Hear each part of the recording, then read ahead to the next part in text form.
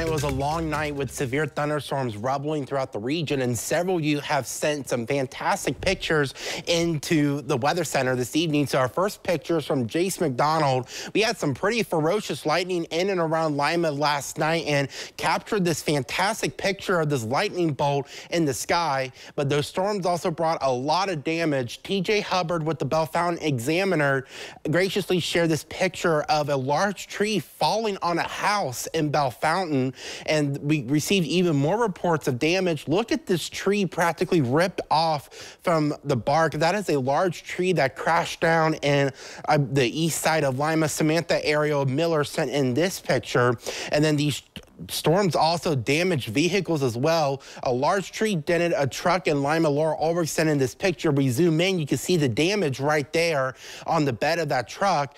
And this truck received major damage near Lima. Jen Guti sent in this picture of the truck bed practically nearly damaged to even practically destroyed at that point with as the storms moved through. So thank you so much for sending in these pictures. It was quite a long night last night. As we look at what happened, we can see that as we as the radar route loops back at the beginning, we actually had severe thunderstorms, two clusters formed in Wisconsin, Illinois.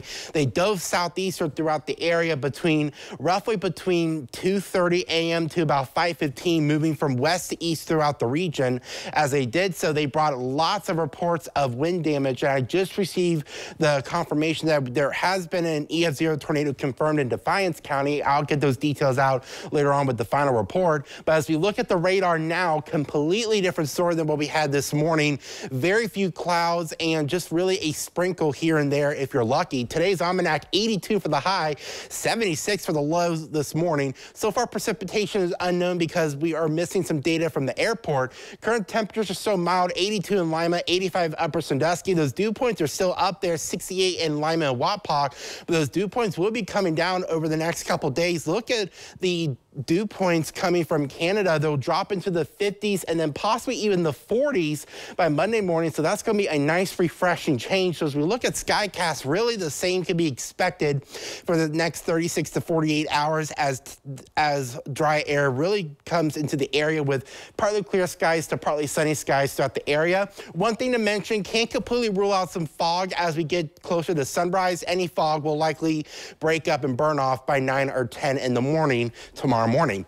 Looking at seven-day forecast, A-plus weather is in store for Monday, Tuesday, and Wednesday. Low humidity, gray late July and then now early August weather. Can't believe it's almost August. 80 Monday, 81 Tuesday, 82 on Wednesday. Turning more humid by Thursday with our next chance of thunderstorms. Sartaj.